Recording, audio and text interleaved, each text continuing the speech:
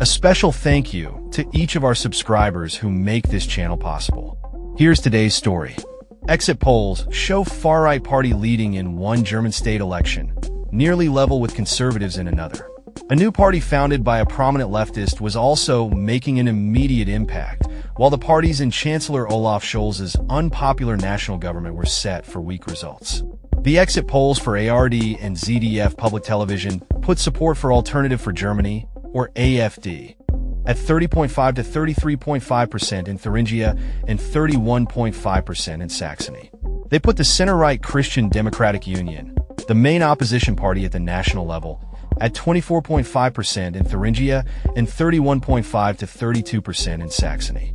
It's extremely unlikely that any other party will agree to put AFD in power by joining it in a coalition. Even so, its strength is likely to make forming new state governments extremely difficult. The strength of the new Sahra Wagenknecht Alliance, or BSW, which was seen taking up to 16% of the vote in Thuringia and 12% in Saxony, adds another level of complication. Alice Weidel, a national co-leader of AFD, called it a historic success and described the result as a requiem for Scholz's coalition. The CDU's National General Secretary, Karsten Linnemann, reiterated the party's refusal to work with AFD. Deep discontent with a national government notorious for infighting, anti-immigration sentiment, and skepticism toward German military aid for Ukraine are among the factors contributing to support for populist parties in the region. AFD's strength is notable in the formerly communist East, with the party's branches in Saxony and Thuringia under official surveillance for right-wing extremism. The leader of AFD in Thuringia, Bjorn Höcke, has faced legal issues for using a Nazi slogan at political events.